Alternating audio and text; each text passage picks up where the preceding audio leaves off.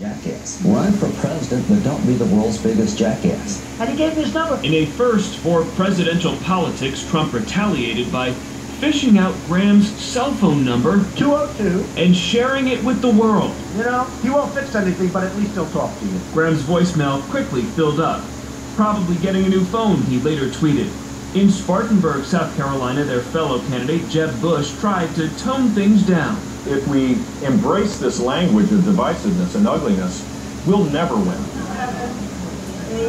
But fans who'd waited hours to see Trump be Trump urged him to keep it up. He speaks his mind. He says what he believes, and you either accept it or you don't. But he should not apologize for anything that he says, and I respect him for that. And inside, it wasn't all insults. The GOP frontrunner also discussed the economy, Every country that we do business with looks at us as a patsy. Stupid, stupid people. and foreign policy. I'm the only ones that don't do Iraq. If you look at Reuters, July of 2004, headline, Trump said don't do Iraq. And I'm the most militaristic person ever. I'm Jared Dillingham, 3TV.